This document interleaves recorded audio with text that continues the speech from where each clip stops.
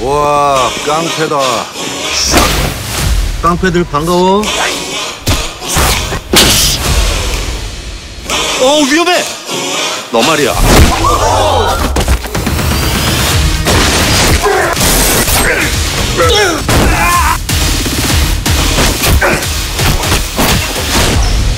이제 시작이야.